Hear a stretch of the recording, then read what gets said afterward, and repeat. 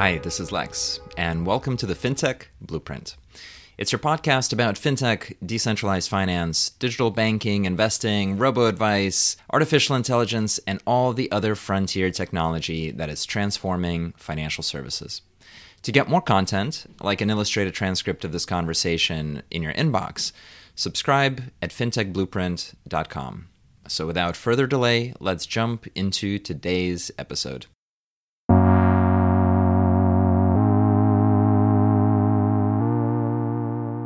Brian, welcome to the FinTech Blueprint. Thanks for having me. Uh, it's it's so exciting to chat to you. It's a really uh, fantastic moment in fintech, as it seems to be every week. Um, so, for our listeners, Brian is the CEO of M1 Finance, uh, a uh, really compelling, quickly growing uh, digital investing company. And I'm really excited to explore its story and explore how it's different to the other things that are happening in fintech and learn about this next generation offering. So, Brian, maybe we can just start off with a little bit of your your background, your journey, and how that led you to to the fintech space. Yeah, absolutely. So, probably the most pertinent part of the background is I was just exposed to finance and investing at quite a young age. So, parents showed me a brokerage account, sort of 10, 11 years old, said, This is investing. You can place a trade, you can invest in a company. Um, and I think their perspective was they wanted me to have exposure. They said, You know, hey, if this interests you at all, you can learn more. If it doesn't, you got to learn the basics. And from a really early age, I was just captivated by the notion of investing. There was, you know, sort of this hairy intellectual puzzle out there of what is the company doing, what's it competing against, what's it worth, a qualitative or a quantitative assessment of you know what is it generating from a revenue perspective, profits and the like, and then you're placing a high conviction bet behind it. And so it was intellectual problem with stakes attached, which just really captivated me from a pretty young age. So did that middle school, high school, into college. Uh, did undergrad at Stanford, where I majored in econ and math. Um, did a stint at a hedge fund and a management consulting firm prior to starting M1. And it was really from the young age developing the natural fluency with personal finance and really at you know the age of 25 saying these tools that I'm using to manage my money really haven't changed all that much since I was 10, 11 and was first exposed. And thinking that the you know, consumer applications outside of finance had increased in dramatic fashion. Everything got better, and for some reason, inside of finance, they they seem to be relatively stagnant, despite it being a massive, you know, fundamental need for people to manage their their own finances. And so creating M1 is really the manifestation of the personal finance account I wish existed in the marketplace that didn't. Uh, we started with an online investing platform. And so the investing platform is the brokerage account that I wish existed. And we have since migrated to more of a holistic personal finance platform where you can invest, borrow, spend, and really automate any dollar to optimize your personalized financial plan. So uh, I'm excited to go into the the sort of operating part about the company, but I want to kick around a little bit about your personal psychographics and the sort of statement that the investing tools out there, you know, even three, four years ago were the same as 15 years ago. And I think that ties very closely to probably how you want to put money to work. So these may sound like silly questions, but do you like trading? Do you like investing? What's what about it appeals to you? Yeah, for for me and for our user base, it's all about investing, which we differentiate pretty substantially versus trading. Uh, whereas trading, we talk about it as you know doesn't really matter what the underlying company is doing or the like. You're just trying to play the price movements and buy it for one price, sell it to another uh, person for a higher price in a short amount of time. And you know, sometimes you're right, sometimes you're wrong. If you're right, you make money. The nice thing is it's it's short term, and so you can see your results in a short amount of time. Versus investing is really about buying ownership in the underlying company or the underlying asset. And what you're doing is you're taking a stake of all the value that that company accrues over long periods of time. And so I, I, think the sort of moniker of are you an investor or are you a trader is sort of the Warren Buffett quote Would you be okay if you didn't get a price quote or you couldn't sell it for five years? If you're fine with that, you're more of an investor. You're, you're buying the underlying asset and you're comfortable with what you own and what it produces over time. Um, I think M1 is much more geared towards that long term investing mindset, and it's all built around portfolio management rather than stock trading. And so the principle is you should be able to tell a software platform this is what I want my investment portfolio to look like on a percentage basis. I want, you know, 15% allocated to this, I want 20% allocated to that. And anytime you deploy money against it, all your money should be intelligently directed into that custom portfolio. And the, the nice thing there is it attacks the common use case for an investor where it's, you know, I'm trying to put my money to work for 5, 10, 15, 20 years for my first house, my kids' education, my retirement, but I want it to go into the investments that I know and understand. And that's exactly what M1's built. We've built a free automated brokerage where you can design a custom portfolio. You can customize the portfolio to your heart's content. We have a bunch of templates to get started, sort of similar to the robo advisor esque allocations, but you can customize it with any stock or ETF that you want to invest in all done on a percentage basis, a really intuitive way to construct and organize the portfolio. And then you just deploy money against it and it all goes to work. And we're doing a lot of creative things in the background to make that happen.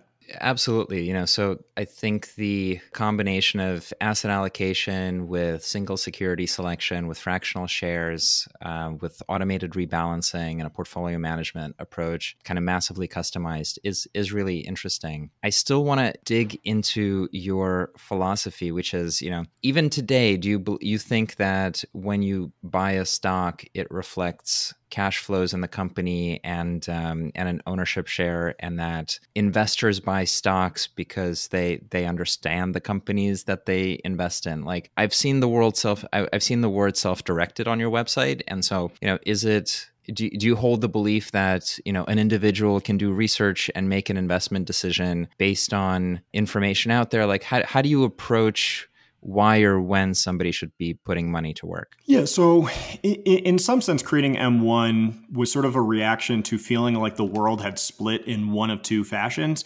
The one, one fashion was you need to outsource it completely. You need to hand it to a mutual fund, an advisor, or put it passive in a you know ETFs, and you should have no control. Sort of the you know the moniker of you know individual investors are not intelligent enough to manage their own money. They should hand it off to experts or it's moved into the hyper trading uh, platforms where you should buy at 10 a.m., sell at 10:30. You should do levered options, and you should you know tr- try to play the earnings call and play momentum, and you know in, in some sense just try to be short-term reacted. M1 is sort of the middle ground. It's saying you should be long-term oriented. You should be buying ownership stakes in companies or asset classes. You know, you can buy ETFs that represent an asset class, uh, the S&P 500, whatever it may be, and you should systematically deploy to that portfolio over time. And it, it is sort of a mix between the two philosophies of I, I, do think over long periods of time, price has to trend towards value. That you are buying an ownership stake, and over the long periods of time,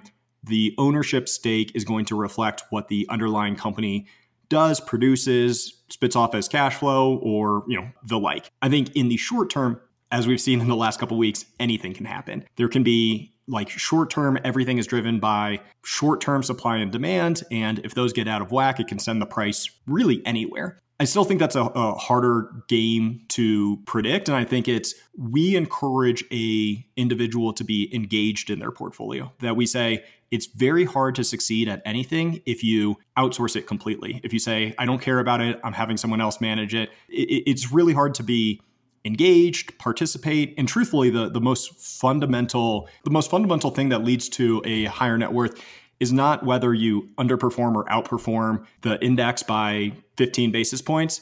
It's whether you contribute 15% of your salary to investments at any given time or 2%. You know, it, it, that, those are the, the fundamental things. That being said, I do think trading is on net a losing battle, that it's sort of a zero sum game between the winners and losers. Even with low transaction fees, you're going to eat the spread every time. It's hyper tax inefficient.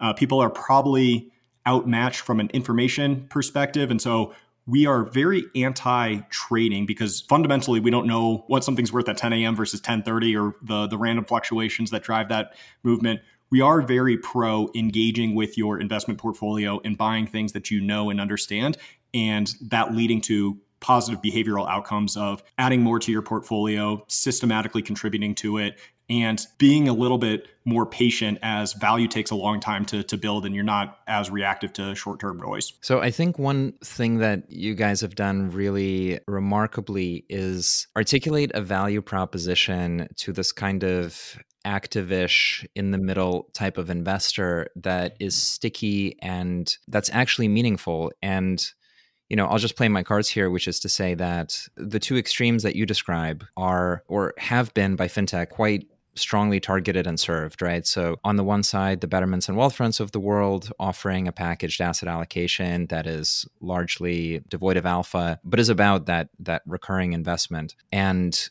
at best, within that investment philosophy, you would say, you know, 10 or 20% of some pie chart is dedicated to my opportunistic investing, and that's done somewhere else, right? So even though people talked about that opportunistic portfolio, it was never implemented in a nice technology led way. And then on the other side, you've got the free brokerages and Robinhoods and, and that model, which really just requires volume. And volume is volume is the cocaine of the financial industry. It's it's um, exhilarating but very bad for your long term financial health. And I think the common wisdom's the wrong word, but the assumption was that it was really hard to build something in the middle that was able to capture people who wanted to have a say in their investment implementation. They, you know, they didn't want to take the BlackRock models and just go go forward with a 60-40 portfolio, but at the same time did not want to be flying around in the world of derivatives and sort of the astrology of technical technical chart reading and things of that nature. And I'll bring up, you know, Motif uh, as a company that had tried to do this and then Kaching, which is the prior incarnation of Wealthfront, which had tried to target this demographic, and they were they were not able to do it right. It was either you know social following to to try and create trading in that manner, or it was portfolios that you couldn't quite customize, even though they were tilted towards particular themes. And I'd love to hear your view on why your you know millions of people that are engaging with with your services why you think you've solved this client base and kind of given them something really existential, which comes out in your performance. Uh, but I'd love to hear how you think about it. Yeah. So,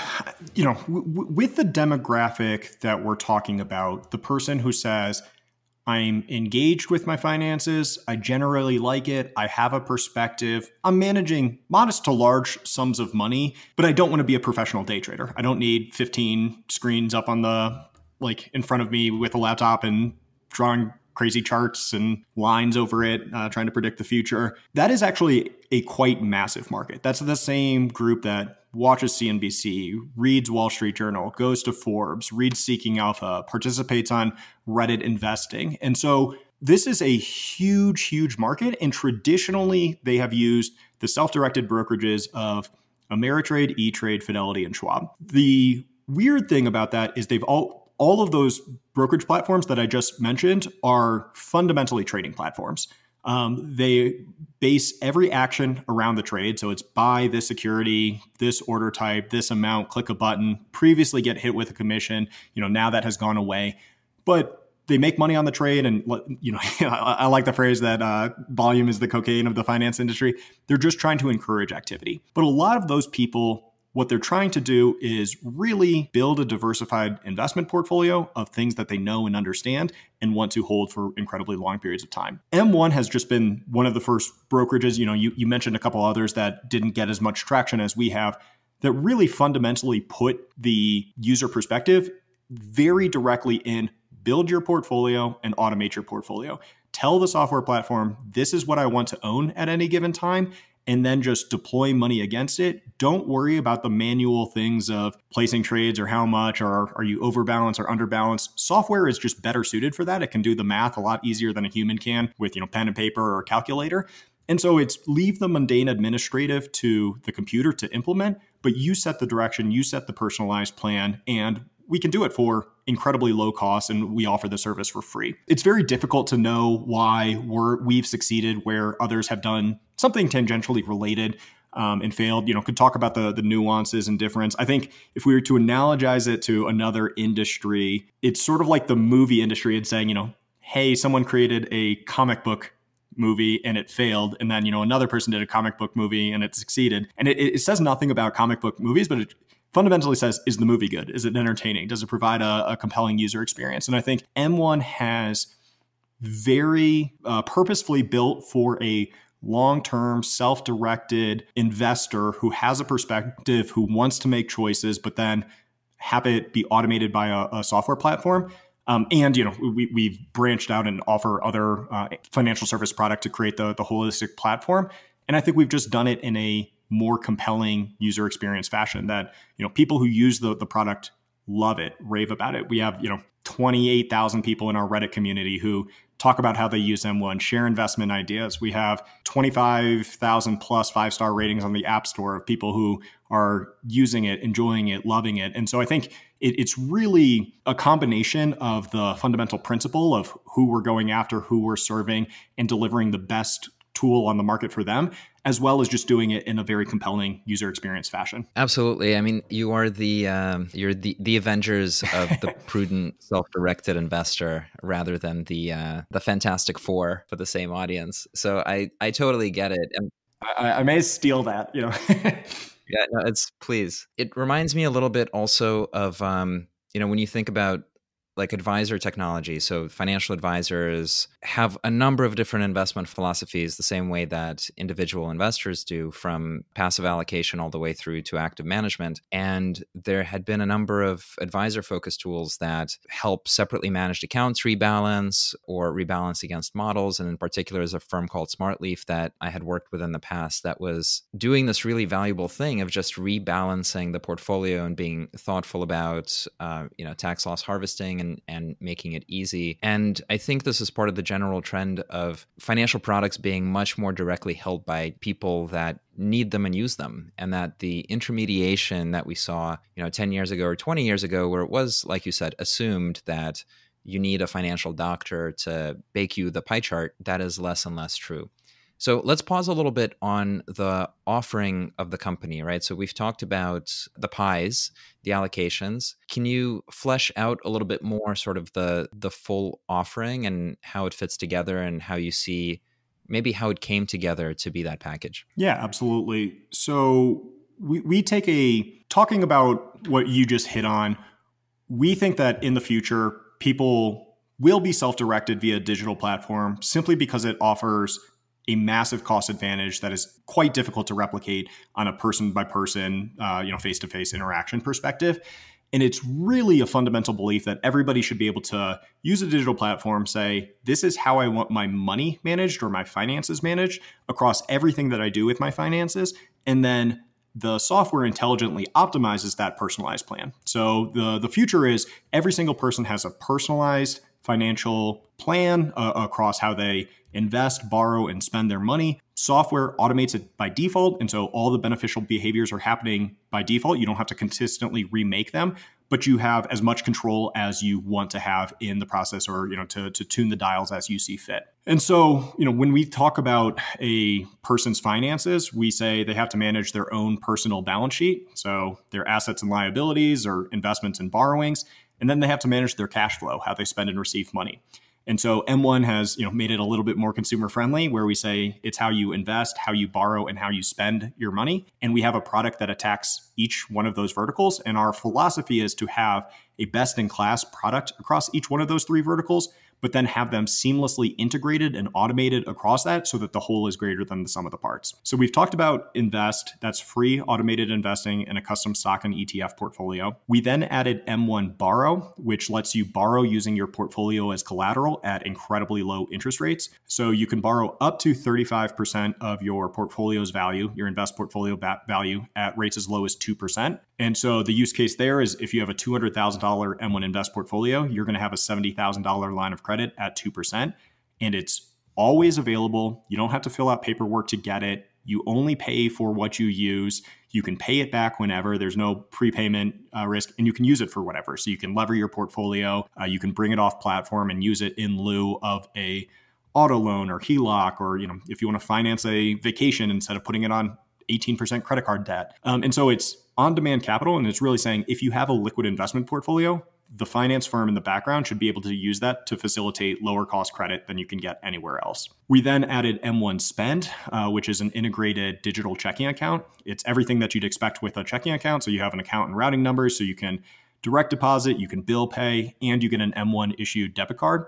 Uh, we have two versions of that. One is a completely free version. The other is a paid with an annual fee that gives you 1% interest on your cash balance as well as 1% cash back through the M1 debit card.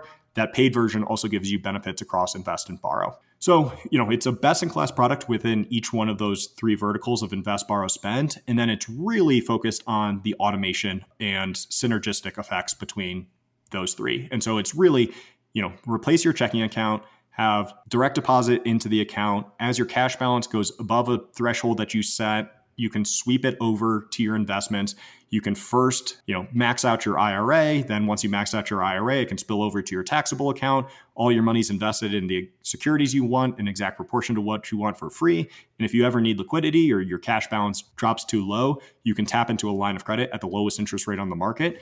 And so it's really more digitizing the private bank experience and providing a comprehensive, holistic personal finance platform. And we just started with invest, added borrow, then added spend, just because it's uh, it's a lot to bite off and chew to, to create a brokerage, digital lending arm, digital bank, uh, all in a short amount of time. Well, it's definitely a testament that these strategies are available to do now, right? That you are able to combine and launch as part of a new company fairly rapidly digital banking, digital investing, spending on a pretty rapid time frame. I'm really interested in some of the plumbing of how this comes together. I promise you that our listeners are interested in the plumbing as well. And so I want to kick around a little bit how these products are structured. I think another comment is that the distinction that historically has been in place between these different verticals, certainly from a regulatory perspective, doesn't really exist from a consumer perspective. It's not relevant that this is an investment account and this is a banking account and this is a credit account. From what entity you're using, you know, to put that together for a normal person is just your money and where it goes inside of the tech app. And so historical barriers are kind of disintegrating and i think what you're building out is a really good example of of that happening and if we look at the industry as a whole, you, you, know, you see also the many of the B2C fintech brands moving in this direction, right? So SoFi's SPAC documents were very explicit about trying to get out of just the student lending and personal lending business and into wealth and cash accounts and all that. Similarly, most brands, regardless of where they start, try to try to build the super app. Can you talk a little bit about the adoption part of these different pieces of the app and you know the sort of holy grail of cross sell like which things are leading where do you see the most growth how do you think about the growth what does success look like? Yeah you, you know you hit on a lot of great points and agree with everything that you said. I do think there we we might take a minor distinction of what we think the finance super app ultimately means despite a lot of people talking in, in very similar fashions. And I think we approach it less from a cross sell uh, perspective, even though ultimately what that's what we're doing. But it's historically we think that's what the banks have done. They've you know had a checking account and then they have you as a financial customer, and so they'll try to cross sell you with a mortgage or an auto loan, and then they will say, hey, we already have a financial relationship. We should also own your investments. Let's go buy a brokerage. We'll rebrand it. But really, what that feels like is different products under the same brand umbrella. And it's not like any one of the products get better because you're using one. And so, you know, when we think about it, it's really how does one enhance the other? And the, the perfect example of that is our invest borrow uh, dichotomy, where if you invest for free, we can offer you better rates on borrowing than you can get anywhere else in the market. And so it's not necessarily that we're like, we ultimately are trying to cross sell and, and have more engagement, but we're trying to do it in a fashion where the products enhance one another and it makes sense to aggregate on M1 rather than putting together a bunch of point solutions and having a finance folder in your phone with 15 different apps. And it's really saying, you know, if, if, all of this works together, seamlessly integrated, automated, it's better than what you could ever get with with point solutions. And you know, it's it's incredibly easy to analogize yourself to the most valuable company in the world, but it's sort of like the Apple ecosystem where each product in isolation, the iPhone's incredible, the Macs, you know, the laptops are incredible, the earpods are great, Apple Music and TV are great, but it's really when you dive into that ecosystem and say, "Hey, this is my consumer facing you know operating system is really when the magic happens and everything just seamlessly works together and it's better than having you know an android and an hp because they're not linked and the like. And so m1 really approaches it from that capacity. And so historically we have started as an investing platform so that's the only thing that you could do. We then added borrow about 18 months after that and so you know you had two products that you could use and cross out and we now have uh, spend, which we launched about seven months ago. And so, you know, the the adoption cycle has sort of followed that production uh, deployment cycle, but it's really people are signing up for the M1 platform. And you know, a, as we continue to grow and orient, you sign up for one a- account with M1. We will do the administrative work in the background to set up your brokerage accounts, your IRAs, your uh, checking accounts, we are going to be adding credit cards. We're going to be adding other loan type options. You just use M1 as a whole to manage all of your finances. You say, this is how much I want to spend. This is how I want to automate my budgeting. This is where I want to invest. And we as a finance firm will also underwrite the individual as a person as opposed to for a sort of specific need and, and just line up lines of credit or uh, loan facilities for them and say, hey, you can borrow this amount against your liquid portfolio at this rate. You can borrow this amount against your house at this rate. You can borrow unsecured at this rate. So just go about life and, and do what you need to manage your finances in a compelling fashion.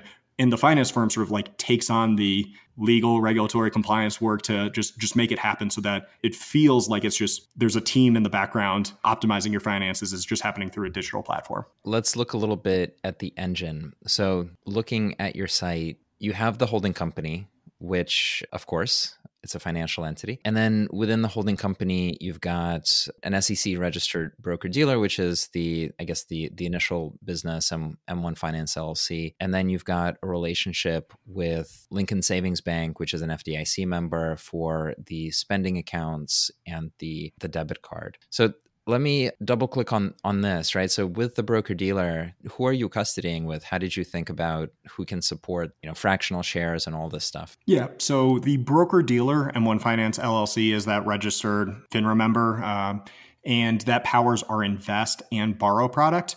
Over time borrow will be expand beyond the portfolio line of credit and so that will be another entity but for the user's perspective shouldn't matter for your audiences just you know for for information purposes we are what's called an introducing broker dealer, and we sit on top of Apex as our custodian firm. And so they do the settlement and clearance of trades, and they're where the actual securities are held and custodied. Um, they were, you know, they're, they're, one. They power a lot of the the fintech apps. So SoFi, Stash, Betterment. They used to do uh, Robinhood and Wealthfront, but those companies have, have left, and Robinhood self clearing, uh, Wealthfront clears on an omnibus basis. And you know they, they allowed a lot of the tech driven APIs that we needed to facilitate our company and growth. So API driven account opening, you know, we're signing up anywhere from 10 to 25,000 new brokerage accounts a day. It's impossible to do with a paper based process. You have to have it be highly automated. Um, they're doing, you know, all the bank verifications, the ACH rails, the booking of trades and statement generation, confirm generation, tax document uh, generation. M1 has built an incredible amount of proprietary technology on top of Apex. And you know, with the portfolio allocations, the fractional share engine, um, and the like, and it really every customer at M1 can have a personalized portfolio. And you know, a thousand dollar deposit could kick off 32 trades of different dollar amounts for you know different fractional shares. And so M1 is very likely the largest trader of fractional shares in the U.S. Um, we do anywhere from like three to 400,000 customer book transactions per day. And so it's a small dollar ticket volumes can generate significant amount of trades. And so, you know, we've built a lot of proprietary technology to be able to process a significant amount of transactions in an incredibly short amount of time. Yeah, no question about that. Apex was a was a leader in API driven kind of broker dealer as a service and doesn't doesn't surprise me that you use them and of course that you have to build on top of that that you have to build on top of them makes sense. I have two sort of uh, sneaky questions I, th- I think re- related to this. Left field, just thinking about Robinhood and GameStop and all of all of our friends at the market makers. In this industry structure, does it mean that you know payments for order flow are not available because you you're using you're using an apex and that's why robinhood went self-clearing and you're not you know you're not a counterparty to a market maker or is that wrong Um, no, we, we do execute through market makers. And I do think that there is, I'm sort of in that weird middle ground. You know, we were talking about the middle ground between the traders and passive investors. I'm also in the middle ground of payment for order flow that it's not as bad as people think. If anything, it, it's provide incredible liquidity so that spreads have been compressed over long periods of time. And it's incredibly small per trade. The, the sort of going rate is about 0.2 cents per share. And so our belief is for the so revenue stream, it increases liquidity in the market. It drives spreads to lower and lower. And so from a overall investor perspective, it's a net positive and a fundamental belief of if you care about PFOF as an investor, you're you know you're losing the forest through the trees. Uh, you know it, it is an incredibly small amount of drag on an investment return.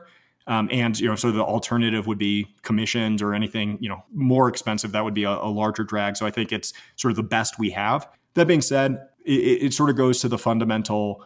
If you're trading significantly, it's a zero sum game. The there are winners and losers, and they even out. But whoever is facilitating that trade is taking a rake every single time.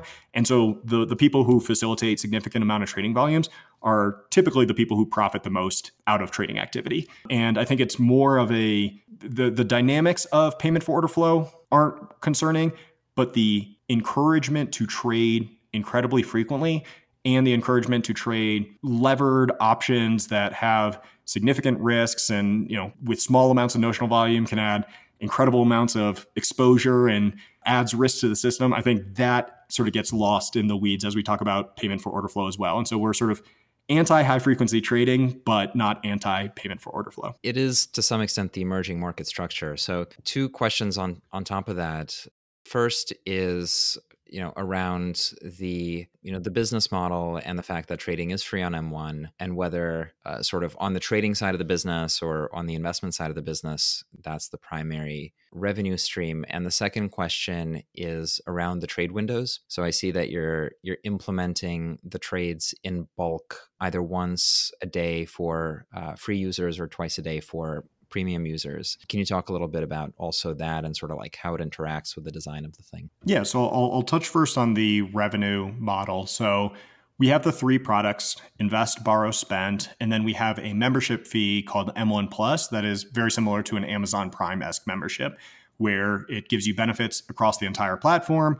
If you're using M1 to manage most of your finances, it more than pays for itself. And so a lot of our heavier users, you know, 25% or so are M1 Plus users. We make money on the investment portion. Payment for order flow is a revenue stream. It's our smallest revenue stream. If it went to zero, it wouldn't be that material, especially because we eschew high frequency trading. You can't day trade on the platform.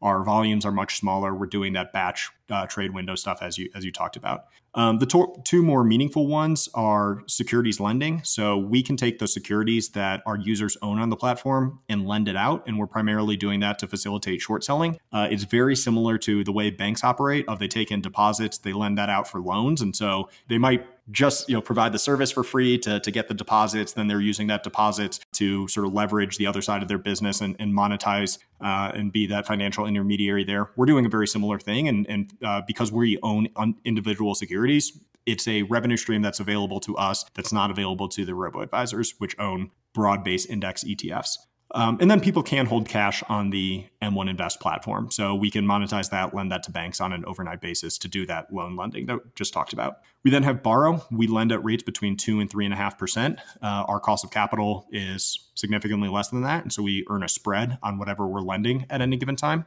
We then have M1 Spend, where people hold cash balances. And so we can monetize those cash balances as well as an M1 debit card. And so anytime they swipe that, we make interchange fees, which is a percentage of the transaction volume that goes through the card. And so you, you add all those together, it, it becomes pretty meaningful. And so, you know, we M1 now has about three and a half billion dollars on the platform. We've quadrupled over the last 12 months, continuing to, to grow at a very high rate and, and sort of having modest but reasonable uh, revenue streams across all product lines means that we have a robust uh, business model across the entire platform. It's the dream. It's amazing. It's been amazing to see kind of the discovery of what are now foundational revenue streams for fintechs, right? But we we can see companies being built entirely on interchange, which was almost like discovered five years ago by by Silicon Valley and and hadn't been applied at all before, and is such a a game changer, both because people need cards they need to spend they're not just trying to hold some abstract net worth in collateralized box, but also because there is the available economics from the spending and the you know the, the flywheel around loyalty and rewards and things of that nature. Is it difficult mechanically to get the interchange? Like how does the how did maybe maybe to reframe the question, when you were looking for a depository partner, how did you end up choosing Lincoln? What kind of things does it provide? Is it you know is that a, is banking as a service a really competitive field? And maybe if you could talk about the infrastructure on that side of the business. Yeah for sure. So on the uh, interchange front there's you know two big distinctions between interchange for debit card which is typically less and then interchange for credit cards which is typically more. Um, a lot of that has to do with the risk parameters that on the credit side they're actually providing credit. That being said you know the higher interchange on credit cards is also what facilitates the cash back and rewards that, that people do love. On the debit card side there's also two tiers of interchange and it's really it's much higher for banks that have less than 10 billion in assets and then it sort of drops off a cliff if you go above 10 billion in assets. And so some of the the things that fintechs are doing is partnering with banks that have less than 10 billion in assets and will for a long time so that they can monetize off the, the higher interchange rate um, it, will be you know interesting question of whether that dynamic changes or there's any regulatory pressure on that over long periods of time. Um, for for us, you know, the, choosing the bank was a, a, combination of reasons. You know, one, we did want to go with a bank sub 10 billion to monetize at the higher rate. Not many banks are, are super pro fintech, and so you know having some that are open to relationships with with fintechs limits it pretty dramatically and so you know that that cut down the uh, sort of available universe to you know just I don't know handful of, of small banks. That that handful is growing over time. But then the the bank that we ultimately selected, Lincoln Savings Bank, really put a focus on fintech as a distribution channel, and so they power the Acorns card. They uh, have some partnership with Square from the Cash App perspective. They did MoneyLion at one point, and so you know they were more forward thinking of their legacy business was financing farm equipment in, in rural Iowa for for different farmers, and they potentially not the the highest growth rate from a business perspective, and so they sort of saw, hey, there are a lot of companies out there that need access to the banking infrastructure, the regulatory environment, the compliance environment, the general rails and the like. Where the tech firm was really strong at engineering and product development, they could basically license their charter and provide the services. And, and so that was a lot of the rationale of why we went with Lincoln Savings. Listen, farming's very, very important. Incredibly important. Yeah. really, yeah. Alibaba, I think, in large part, credit credit to farmers. I, I'd love your hot take just because I, I haven't looked at this in detail for a while and I'm curious, you know, your hot take on Green Dot, the Bancorp, and I think it's CRV Charles River or CRB Charles River Bank. Maybe I'm Cross River Bank. When you like, who was the comp set that you looked at that was was kind of reasonable and good and what were the distinctions that made you go with one over the other? Yeah so we, we we looked at all of those then there's a handful of other private banks that may not be well known or have a, a huge retail focused presence that also offer the service to partner with fintechs. There is a little bit of a difference in how m1 approaches the market versus some of our fintech peers where a lot of our fintech peers view everything in terms of or in terms of users whereas m1 really tries to view things in terms of dollars that we monetize on assets we monetize on liabilities we monetize on transaction volume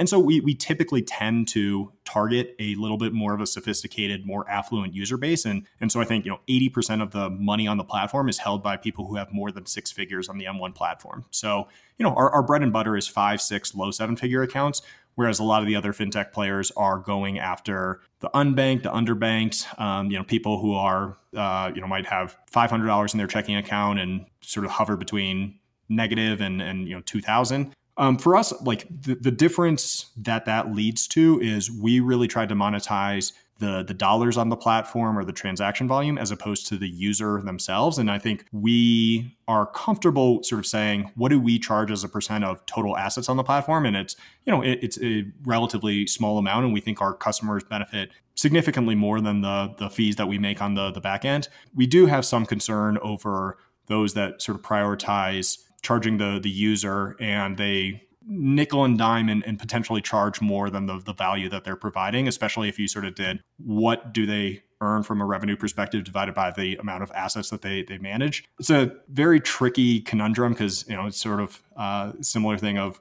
what are the other alternatives. But I think for, for our perspective, we wanted to have a partner that was much more aligned with let's survey our, our, our user base incredibly well, take a very small uh, amount of that on on serving them and not have it be perverse incentives of trying to charge people who can likely least afford it. Cool. Thank you for um, exploring how the the jigsaw puzzle fits together. I think it's to me it's one of the you know the most interesting questions because the the financials and the the adoption path of the product is a function of what it is that you put together of the car that you put together. And i think again it just bears repeating that bringing these offerings together and painting a holistic financial picture that is largely automated and is aligned with how people think about their money is really core. And it was pretty prohibitive to do this in the past and it is available now and i think that's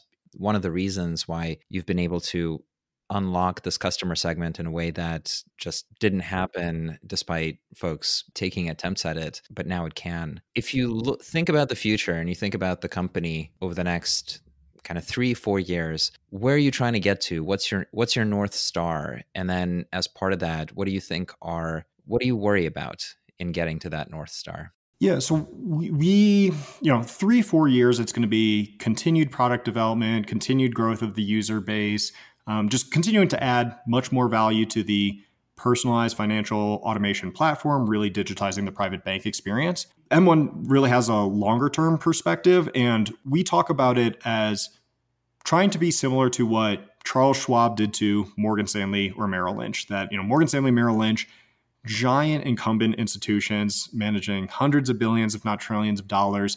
And then Schwab came around in the you know 60s, 70s, and 80s and said we can deliver better product, better pricing, more digitally uh, and tech-driven focus. And it's not like Morgan Stanley and Merrill Lynch went away. You know, some got acquired and, and merged with Bank of America, but you know, Morgan Stanley's still a hundred billion dollar plus company. It's just Charles Schwab is also a hundred billion dollar plus company we, we think that there is a huge opportunity to create the next generation financial institution using 2020 technology and really incorporating all the best practices from a consumer experience perspective, from a product perspective, uh, having it be self-driven and automated and, and using software to automate and power that.